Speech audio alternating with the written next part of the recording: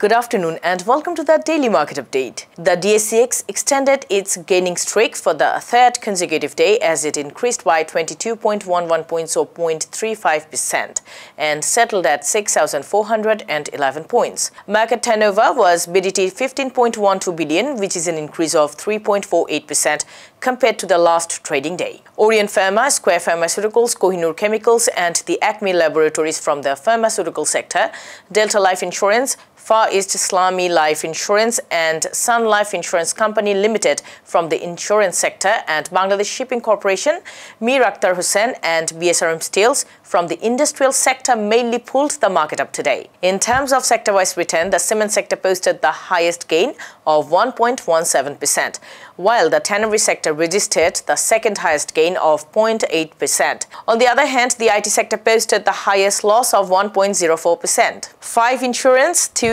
industrial and two pharmaceutical companies were among the top 20 gainers today. Orient Pharma, Bangladesh Shipping Corporation and Navana Pharmaceuticals Limited registered the highest gain, while Bangladesh Monospool Paper Manufacturing Company, Information Services Network and Sino-Bangla Industries were the top losers.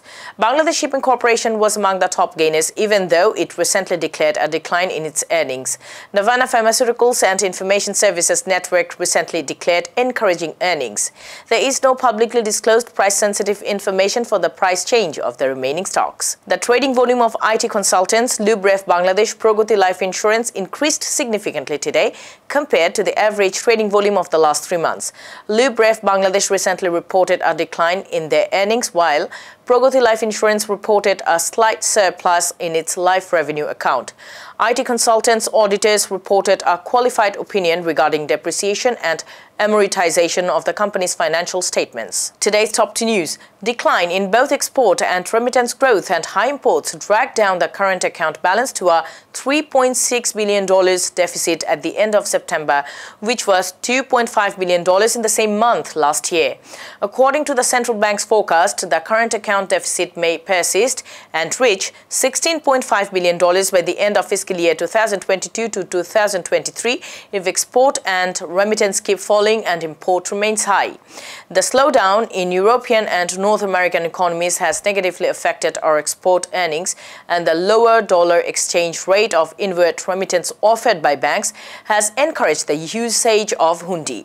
The central bank has sold $4.5 billion in the market so far this fiscal year, which has been depleting the country's foreign exchange reserve. Bangladesh's apparel sector's exports went up by 10.55% year on year to $13.95 billion in the July-October period of this fiscal year, higher than what industry experts had predicted. Even though Production in most factories have reached below 30% amid record high inflation and economic downturn at major export destinations apparel exports still managed to register a 3% growth in October. That's all for today. We will be back again next week with more updates on Dhaka Stock Exchange. Follow LR Global on Facebook, LinkedIn, Twitter and subscribe to our YouTube channel. Thank you.